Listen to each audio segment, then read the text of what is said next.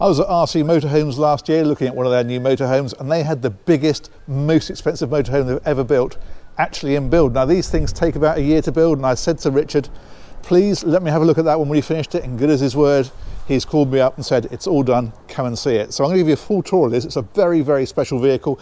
We're gonna look at the inside, the outside, and I'm gonna show you a very special surprise right at the end. So stick with me, come and see this because it is magnificent. So we'll head inside first of all. So the big news in here is just how much space you get. This is the main saloon area or the lounge area. And this vehicle has four slide outs. Now slide outs are these things on the side. This whole section here, when you're motoring the vehicle, it slides in. So the wall is basically here and this all moves in. But when you're stopped, you can power that out. It's all hydraulic and you've got this much extra space in here. And that really does increase the volume in here massively. That's really impressive. There's a big skylight overhead. We'll come to that because that's also quite interesting. But what I'm going to do, I think, is head to the front first of all and we'll work our way back. Now, this looks like they swiveled the driver and passenger seat around. In fact, they haven't. Those are up here. So you've got two rows of seating effectively. So when you're driving the vehicle, four people can all sit up here with proper captain's chairs, seat belts and everything else. That's really nice. If we come right to the front, this is the management system. Now this is repeated in a couple of places and I'm going to show you that when we get towards the end of the tour. This is a 360 camera system. So when you're maneuvering, every aspect of the outside of the vehicle can be seen on there. And then of course this is where you drive it from. You do need an HGV license to drive these because obviously it's a pretty serious piece of kit in terms of its size and weight. So let's head on back through and I will give you the full tour. These are electric blinds that go up, so you've got windows on the outside of there. I love the lighting that they've put into here, that's really trick. And there's some nice touches as well, like for example, you see where it's got the RC logo on here. If I drop my phone onto there, it charges it. That's rather cunning. All the 240 volt sockets have also got USBs in, you can see that just there. And if we head on back a little bit further, this is the kitchen area, or the galley. And again, this has the slide out. So that moves right out and gives a load more space in here. Again, you can use this when the slide out is in because you still have plenty of floor space, but you can see how this would move across to here, for example. The whole thing just comes in a little bit. It's very well equipped. This is a cooker tap, so it's hot and cold, but also boiling water. You can make a cup of tea straight from that. Your sink is underneath it. There's a bin over here. Again, tons of storage about the place a Miele induction hob and there's a Miele oven on that side and even a dishwasher. And then behind me is the fridge freezer. Now if we head on back again, this door will take us through to the bathroom.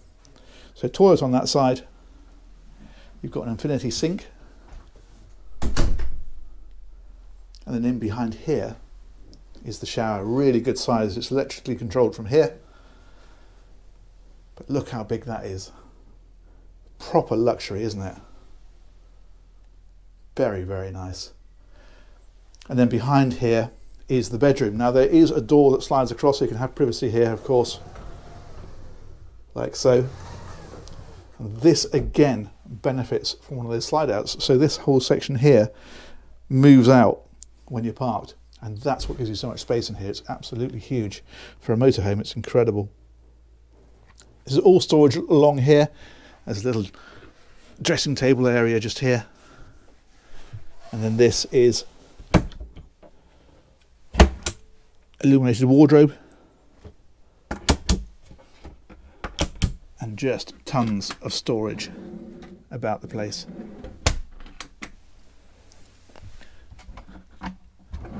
All over. And these are particularly like, these are little pop out lamps. So you just do that and swivel them and that's your reading lamp. Nifty. Some lovely upholstery in here as well. Really nicely done. There's a big skylight in here. This has got the day screen over it, so you've just got it's like a little mosquito net type of a thing. But there's also a blackout screen that will go across. That's all electric. I'll show you how that's controlled in a moment. There's a huge TV in here on the wall. And if we head on back, this takes us back to the bathroom. And this takes us back out. I will show you the control systems because they're actually pretty interesting. But it's vast, isn't it? You almost forget you're in a motorhome. It's absolutely incredible. So this is the control system. Now this is controlled from that screen up on the dash. When you're motoring, you can control it from here. But there's also an iPad controller that's down there, which means wherever you are in the vehicle, or even outside of the vehicle, you can control all these things. So if we go to the home screen, I'll just show you this very quickly. These are your tanks, so fresh water, grey water, black water, and LPG. You can see your AC power and your solar power. There's solar panels on the roof. But we can also go into a power center that gives you a lot more information that's your solar power. There's a generator on the vehicle as well, so you can run your 240 volt from there, or of course you can hook up to power at a site. This is the lounge area. These are these slide outs. So the passenger side and the driver side are these two. So you can actually stand outside the vehicle and control them, or you can do it from in here.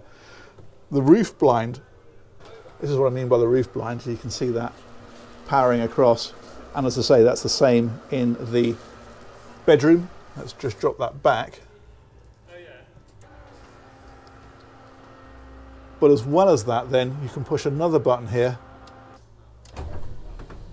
And you can see how that tilts up for some fresh air. But beyond that again, you can power the whole thing back so you can get loads of air and light into here with that completely open. That's really nice. What else have we got on here? That's taking us into the kitchen area. So again, you can control the slide out and the blinds all electric on here as well. Same for the bedroom. Slide out is over on this one and your roof window opens in the same way and the blinds come across it very, very similar. And actually, one other thing I'll show you, which is Saloon TV. If we hit this button here, that's a TV that rises out of there. So if you want to watch a bit of TV in the evening, you can do. Anyway, let's go and take a look at the outside because that's also pretty impressive. And as I mentioned, something very, very special right at the end. So these steps that I'm walking down, they're hydraulic, so they fold away. You just pull the handrail out and they retract into the vehicle. There's also a huge sun blind up here as well. That's a seven meter blind. And it extends out almost four meters and you can see, hopefully, it's all got lighting all built into it around here and along there. So at night that just illuminates this area really nicely. The whole vehicle is based on a Volvo FH chassis. It's got things like rear wheel steering, for example. There are hydraulic jacks all the way around so you can raise it up and level it when you're stopped. And then if you come round to the front, you can see just what an amazing looking vehicle this is. It's got a 540 horsepower turbo diesel engine. So it's got plenty of power to move this around. It's quite a machine, isn't it? Let's come on around this side.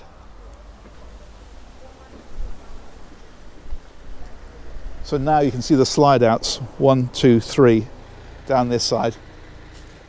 These are big storage areas in behind here, so you can get things out of the way without bringing them into the vehicle if you want to. And that does look rather impressive. You get a real sense of the size of it from here. But the thing I most wanted to show you, that's round to the back. Come and check this out.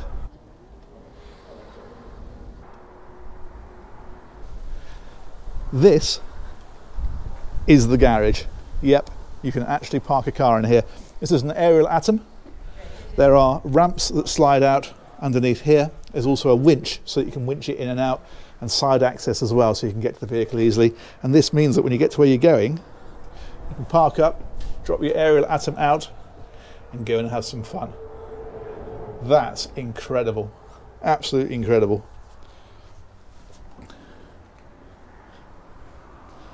So there it is, the RC12M. Huge thanks to Richard Churchill of RC Motorhomes for sorting out that tour for me.